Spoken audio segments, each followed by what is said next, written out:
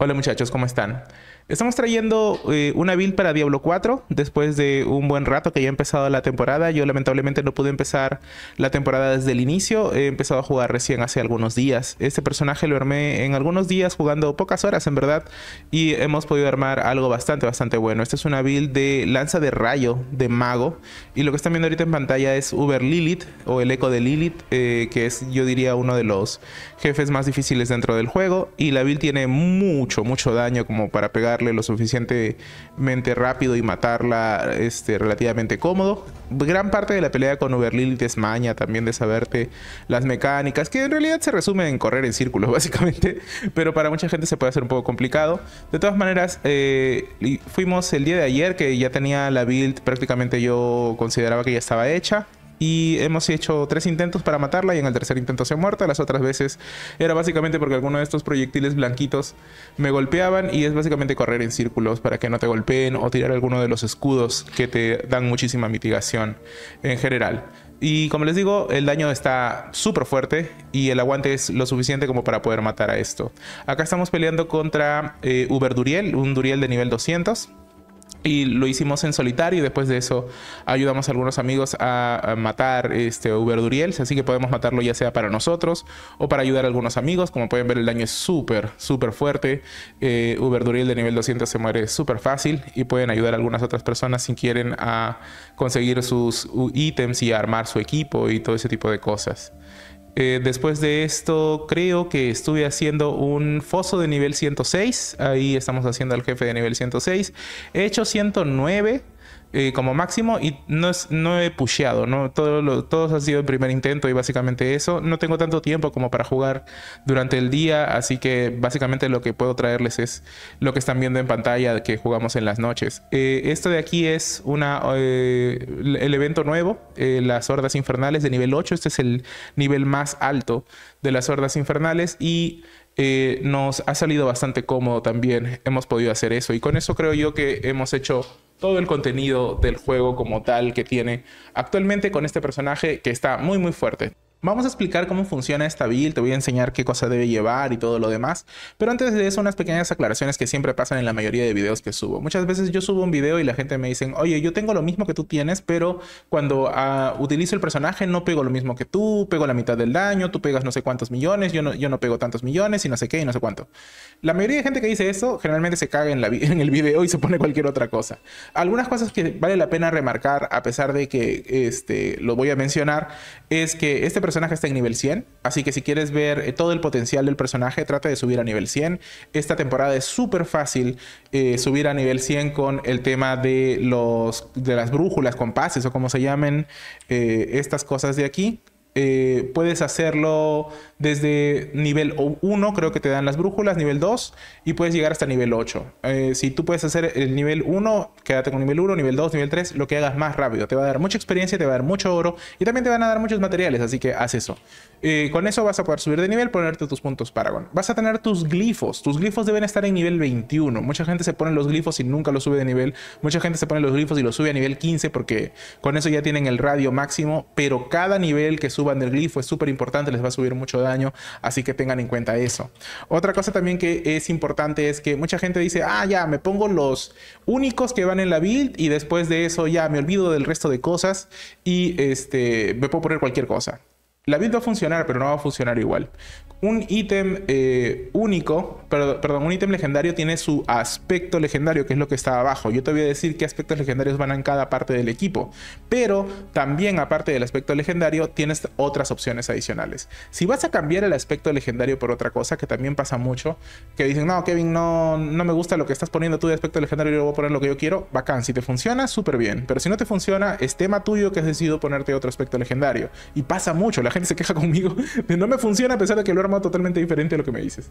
Este, eh, otra cosa también son las opciones del ítem. Los ítems, aparte del aspecto legendario, vienen con hasta tres opciones. Aquí, por ejemplo, pueden ver que tiene 808 de vida, 3 de mana por segundo, reducción de recuperación. Si yo te digo que son esas tres, trata de tener esas tres. O trata de tener dos de tres. No te pongas cualquier mierda. Lo primero es tener el aspecto legendario. Lo segundo es conseguir otro ítem que tenga eh, estas tres opciones y después le pones el aspecto legendario y reemplazas tu casco. Aparte de eso, tener los templados que son lo que viene de abajo, que dice más 1 a calor, más 5.5% de probabilidad de, eh, de lanzar rayo, de lanza de rayo. Eso de allí también es importante y eso se pone con el herrero y te puede salir como que no. Entonces son varios eh, crafteos que tienes que ir haciendo e ir mejorándolo poco a poco. Entonces tienes tu aspecto legendario, luego tus tres opciones, luego tus dos maxeados y, o mejor dicho, tus dos templados. Y después de eso, con el herrero puedes maximizarlo. Al maximizar, todos los valores de este ítem suben. Y cosas como la vida, la probabilidad de golpe afortunado, el mana por segundo, todo eso va a ir subiendo y vas a tener más beneficios en general del ítem. Entonces, todo eso es súper importante. Y finalmente, los ítems pueden venir con estrellitas. Este, al costado del nombre, ves que hay una estrella, te puede venir de 1 a 3 estrellas. ¿Qué quiere decir eso? Las estrellas quiere decir que han inflado los tres valores iniciales del ítem, eso de vida, mana por segundo y reducción de recuperación que están en este casco, puede salirle una estrella y eso quiere decir que van a tener valores más altos. Eso es importante y te sirve mucho, pero no es determinante en que la build vaya a funcionar o no. Entonces, ten en cuenta eso cuando vayamos a estar haciendo esta build. Otra cosa que también es importante es eh, cuándo vamos a pasar a esta build, cuándo puedo armar esta build. Eh, tenemos varios ítems únicos que yo creo que son bueno tenerlos. Tenemos el cristal invernal fracturado, tenemos el eh, bucle iridescente de Talraya, tenemos la voluntad de Tibault y tenemos la reliquia de Esu, que son unas botas. De todo esto, lo más importante yo diría que es el amuleto. El amuleto cae de un jefe que se llama Lord Sir, que se encuentra en esta parte de acá. Tendrías que matarlo varias veces. En esta parte de aquí, que se llama el Camino Oscuro. Por ahí encuentras al Lord Sir y te pide unos materiales que son estas sangres. Sangre exquisita, con la sangre exquisita puedes invocar al Lord Sir y lo matas hasta que te caiga. Yo no he matado ni una sola vez al Lord Sir. ¿Cómo he sacado yo mi amuleto? Jugando el juego. Te puede caer de marea infernal, te puede caer matando bichos en general, te puede caer matando a otros, eh, a otros Ubers y también te puede caer de los cofres que te dan de la mecánica de la liga. Cuando vas matando bichos, vas juntando puntos de la mecánica de la liga, te vienes a este sitio que es Sarvinset y acá hay un NPC que te da cofres. Vas abriendo los cofres y eventualmente te va tirando ítems. A mí me cayó este amuleto dos veces. Uno eh, sagrado eh, en el nivel de mundo 3 y desde ahí me lo puse y funcionaba. Y después de eso lo conseguí ancestral y eh, cuando lo conseguí ancestral lo reemplacé y básicamente con eso estuve. Esto yo diría que sería lo más importante para conseguir. El resto de cosas es parchable con las cosas que te puedes ir colocando. Eh, ¿Cómo puedes conseguir este amuleto si es que no lo consigues dentro del juego? Lo puedes conseguir comprándoselo a otros jugadores. Hay esta página de intercambio donde tienes que agregar gente que está vendiendo esto. Acá está el Fractured Winterglass. El dibujo no es el mismo, pero el nombre es lo que importa. Y están desde 15 millones, 20 millones, 10 millones. Ahorita haciendo la mecánica de la liga, conseguir 10 millones es súper fácil. Haciendo un compás eh, o una brújula de nivel 3 o 4 y cobrando todo en oro, te dan como 30 y tantos millones, creo. Es relativamente fácil de hacer. Puedes comprarte cualquiera de estos y con eso arrancas y después puedes irlo mejorando tu amuleto hasta conseguir mejores roles. Pero básicamente eso. Kevin, no sé cómo funciona esta página. No lo voy a explicar aquí porque es muy difícil, o mejor dicho, sería muy largo el video. Pero te voy a dejar el video de mi amigo TV que te dice cómo usar la página de trade para vender totalmente legal. Esto de acá es una explicación de cómo funciona esta página y como lo dice el título, esto es legal. Esto es básicamente contactar con jugadores que no conoces, que tienen el ítem y que quieren venderlo y darle una cantidad de oro a cambio del ítem. Y básicamente es eso. Entonces te voy a dejar el video para que puedas comprarlo si es que así lo necesitas. Eh, yo diría que por fuerza esto es lo que más eh, necesitas para armar la build. Y después el resto de ítems únicos no son tan relevantes, pero son importantes. Este pantalón cae hasta por las puras de Uber así que simplemente después haces su verduriel y ya estás. Y el resto de cosas también este, este anillo cae hasta por las puras de tal. Esto de acá sí tienes que tener un poco de suerte, pero tampoco es imposible de conseguir. Pero yo diría que lo más importante es este amuleto fracturado como tal.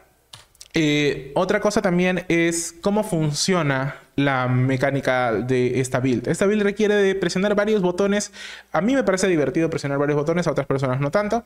Pero eh, básicamente es matar con lanza de rayo. Lanzamos lanza de rayo y no tenemos ni siquiera que apuntar la lanza de rayo. Simplemente presionamos el botón de lanza de rayo. Mira, mi mouse está por acá. Lo lanzo y se va a buscar a los enemigos y les va haciendo daño, daño, daño, daño. Con eso es con lo que matamos nosotros. Para poder lanzar la lanza de rayo más veces, porque tiene un tiempo de cooldown, ves que tiene 13 segundos y va bajando, bajando, bajando, bajando. Nosotros tiramos orbe gélido que no hace daño, solo nos sirve para que esos 13 segundos se reduzcan mucho más rápido y podamos lanzar lanza de rayo nuevamente, lanza de rayo nuevamente, lanza de rayo nuevamente y así. Entonces es un combito entre orbe gélido y lanza de rayo. Este orbe gélido funciona, ¿por qué? Porque tenemos el, amuleto. El amuleto activa ese efecto de reducir el tiempo de la lanza de rayo. Tenemos un bufo que tenemos corrientes inestables. Este bufo nos dura un tiempo y vamos a ir este, vamos a ir eh, lanzándolo cada vez que tengamos disponible. Entonces es lanzar el bufo, eh, estar golpeando con orbe gélido y lanzar lanza de rayo las veces que podamos lanzarlo y básicamente con eso estamos. Eh, puedes ponerlo en el orden que tú quieras, si tú sientes que es mejor ponerlo este, en la parte de aquí abajo, en el clic secundario, en el clic primario y cosas por el estilo, ya tú lo puedes poner en donde quieras, no puedes cambiarlo porque está con cooldown, pero básicamente eso. Luego de eso tenemos teletransportar que es para movernos. Y básicamente eso es todo. Y tenemos dos escudos. Tenemos un escudo que nos da armadura glacial, que nos da mucha mitigación de daño. Y aparte cuenta que cuando lanzamos un escudo tenemos otras habilidades que nos dan más daño al tener un escudo encima. Y eso de acá lo activa y esto mitiga mucho el daño. Y tenemos otro escudo que es escudo ígneo que nos hace inmune a cualquier daño durante un pequeño periodo de tiempo. Entonces, cuando vamos a lanzarnos enfrente de un jefe que está lanzando algún daño súper fuerte o en medio de un montón de enemigos, presionamos esto y somos inmunes. Si tú quieres, puedes jugarle al Tekken y presionar todas las botones y presionar todas las cosas todo el rato. La build va a funcionar. Pero que sepas que cuando estamos haciendo contenido súper alto como fosos de nivel 100 a más o cuando estemos haciendo las, eh, las brújulas estas de nivel 8 que son las más altas y los jefes sean bastante recios, alternar estas habilidades es muy muy muy útil. Eh, si presionas una, no presionas la otra, esperas un rato a que se acabe y luego presionas la otra para que vaya eh, utilizándose el tiempo restante de la otra y así vas alternando entre uno y otro. Porque si presionas los dos a lo loco, te vas a quedar sin ningún escudo y puede ser muy fácil que te mate algún jefe fuerte. Entonces, eh, si tú quieres, puedes jugarle a lo loco, vas a tener menos eficiencia en la supervivencia de la pero si lo haces de manera ordenada y vas esperando mientras vas lanzando las demás habilidades, tampoco es tan difícil, la verdad, porque estás spameando el resto de habilidades y cuando presionas una, activas recién la otra y cuando se activa, e, cuando se acaba esa, recién activas la otra es mucho mejor. Es mucho mejor para este, tus habilidades. Aparte, mientras estamos lanzando todo eso, van a ver como que esto, estas burbujitas de rayo que están en el suelo, cuando las agarras, se llena esta barra de acá abajo y van saliendo rayos de, de, ti y va eh, haciéndole daño a los enemigos. Esto ni siquiera tienes que pensarlo mucho, simplemente mientras vas avanzando, vas recogiendo estas burbujitas de rayo y van haciendo más daño. Y básicamente es eso lo que eh, tenemos que tener en cuenta para hacer que funcione la build que llevamos de eh, ítems eh, importantes, ¿no? Ya habíamos mencionado que llevamos el cristal invernal fracturado, llevamos este, este cae del Orsir, tenemos el bucle iridescente de Talraya, este cae de este de ¿cómo se llama este men? Cae de aquí donde encontramos a este jefe Uber que ya se me fue el nombre, pero está aquí al costado de este waypoint del álbum de susurros y te cae relativamente seguido. Eh, la voluntad de Tibault cae de Duriel, que también es otro jefe eh, Uber único. Te puede caer de otros lados también igual. Pero aquí llueve. En este sitio de acá, en la grieta abierta que está al costado de Gaekal, invocas a este jefe y caen un montón de eh, T-Bowls como tal. Eh, también caen un montón de reliquias de Esu en cualquier parte del mundo y con que tengas eso ya estás. ¿Qué es importante en esta build? Importante es tener reducción de recuperación para que estas habilidades que están en cooldown puedan volver a utilizarse lo más rápido posible. Así que tenga en cuenta el cooldown en la mayor cantidad de, eh, de partes que puedas rolear cooldown o reducción de recuperación en español. Y también la probabilidad de golpe crítico y el daño de golpe crítico. La probabilidad hace que golpees daño crítico y el daño de golpe crítico hace que ese daño se multiplique. Si yo abro esta pestaña y bajo, tengo actualmente, por acá debe estar, uh, acá, tengo probabilidad de golpe crítico 33% y daño de golpe crítico 1715%. Aparte de eso, tú puedes potenciar tu probabilidad de golpe crítico para que tus golpes suban con eh, poción o un elixir de crítico, que se llama elixir de precisión, y te puede ayudar eso si tienes una probabilidad de golpe crítico bajo. Estas botas de aquí hace que cuando tiramos este, un, eh, un evadir, suba nuestro, nuestra probabilidad de golpe crítico. Entonces es por eso que subió de treinta y tantos a, a 60, creo. Tiro acá, ahí está, subió a 60. Entonces es importante, con las botas subimos mucho la probabilidad de golpe crítico y tenemos que lanzar un evadir y básicamente con eso tenemos. Entonces estas botas, este anillo, este pantalón nos sirven, esto para más daño, esto para reducción de cooldowns y para más daño, esto para este, reducir el tiempo de, perdón, el costo de recursos, que son las voluntades de T-Vault, pero si no los tienes, puedes llevar otras cosas. Si no los tengo, ¿qué llevo? Unas botas con velocidad de movimiento y que tengan inteligencia y este, vida. Un pantalón que tenga armadura, vida, este, regeneración de mana por segundo. Eh, un anillo que tenga probabilidad de golpe crítico, daño crítico, velocidad de ataque, que es básicamente lo mismo que tenemos en el otro anillo, que tiene velocidad de ataque, daño de golpe crítico, arriba tiene inteligencia. Ese de acá ni siquiera está perfecto, eso debería tener probabilidad de golpe crítico en la parte de arriba en lugar de inteligencia.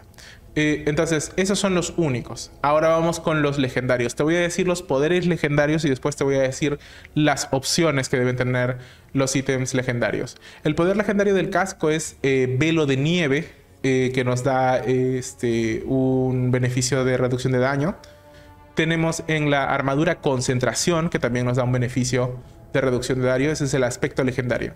En el guante estamos llegando oleaje de tormenta, que nos da daño. En el arma estamos llevando energía astillada, que también nos da daño.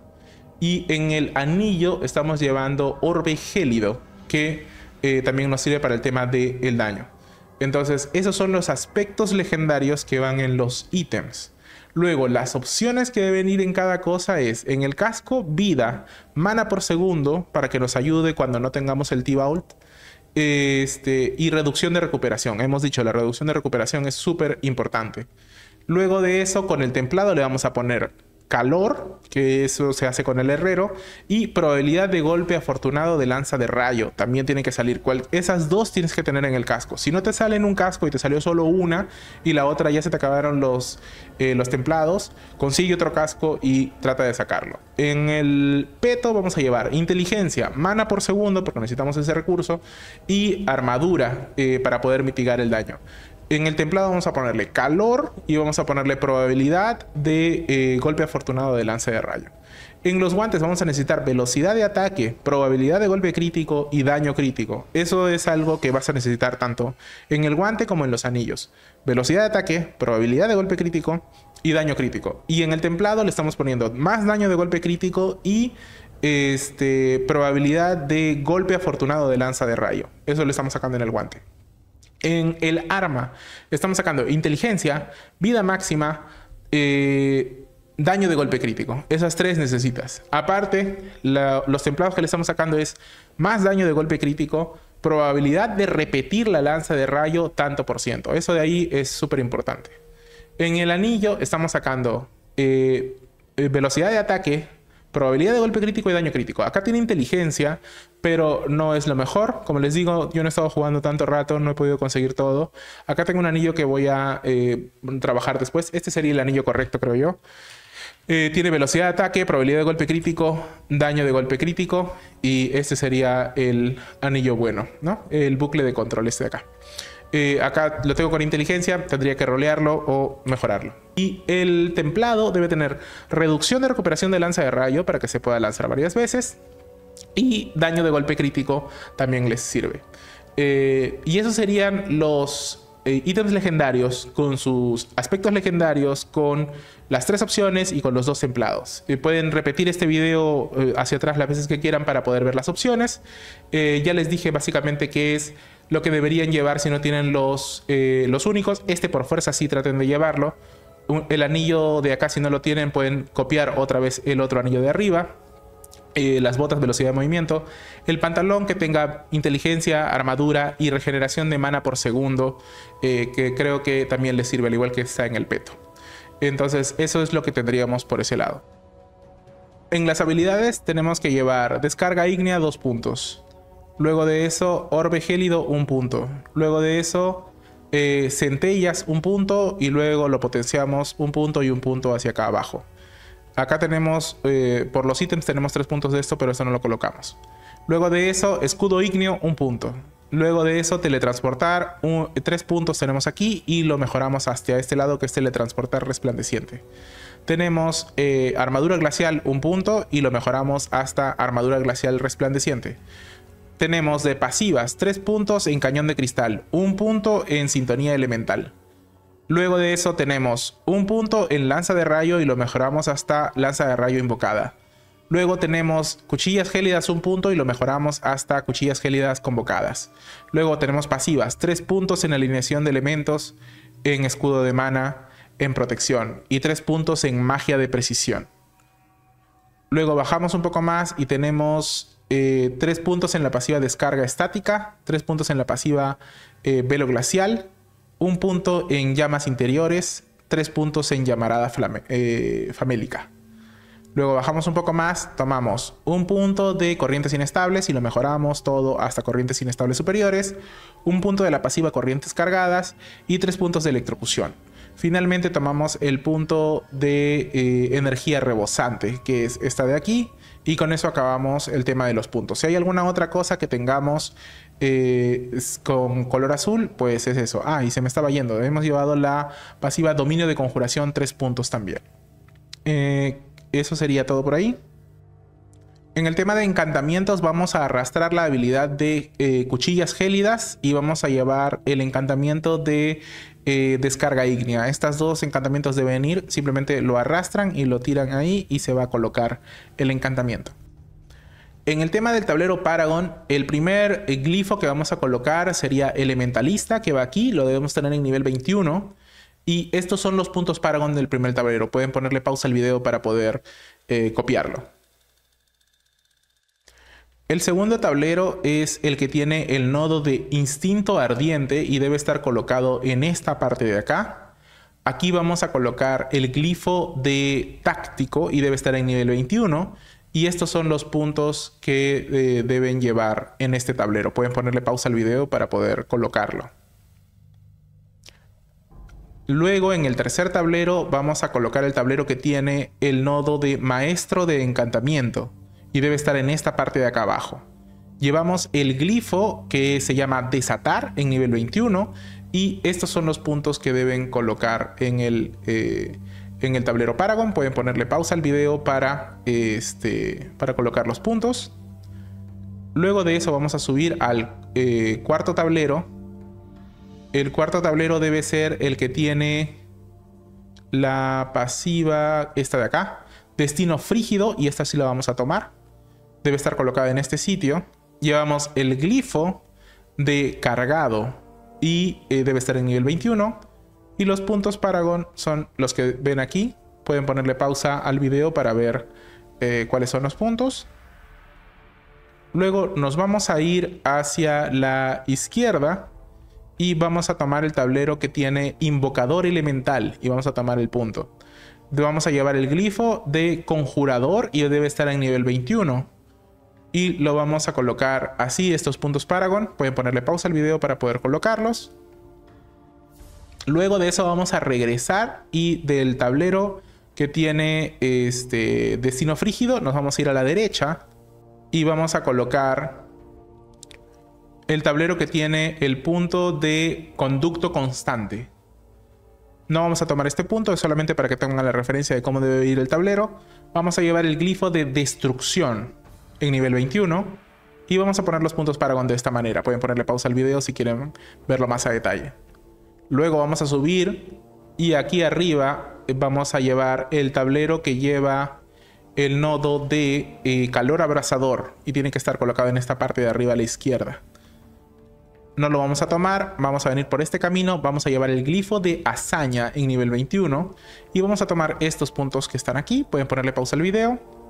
Y finalmente nos vamos a venir acá a la derecha y vamos a tomar el tablero que tiene el nodo de sobrecarga estática. Y debe estar colocado en esta, en esta orientación, no vamos a tomar el nodo, vamos a ponernos el glifo de devorador de fuego, debe estar en nivel 21, y nos vamos a poner estos puntos que ven en el tablero. Pueden ponerle pausa al video para ponerlo más a detalle. Y eh, eso sería básicamente eh, el tema de los puntos Paragon. Yo actualmente estoy llevando el casco de Arlequín porque están cayendo muchos super únicos, la verdad. Eh, tengo dos cascos de Arlequín. No he jugado tanto. En esta temporada están cayendo mucho más seguido. ¿Y por qué llevo el casco de Arlequín?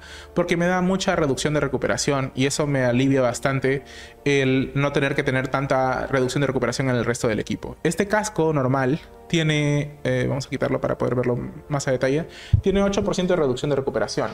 Si pueden tenerlo con estrella es mejor. Eh, y si, tienen si lo pueden tener maximizado es mejor porque les va a subir mucho más la reducción de recuperación. Eh, esto ayuda a que la lanza sea mucho más seguida, pero no es obligatorio llevarlo. Eh, aparte de eso, este, esta build puede llevar otra armadura que creo que lo puedo ver aquí. vamos a esta que es la armadura de Tirael. No me la he puesto, tampoco la he armado, puedo armarla ahorita. Eh, me da más daño, eh, me da mucho, mucho aguante, pero la build funciona igual sin esta armadura, al igual que funciona sin el casco de Arlequín. Entonces, si ustedes, por ejemplo, vienen aquí y lanzan este, la lanza ósea, pueden ver cómo baja el tiempo. Tengo, pero lanza ósea.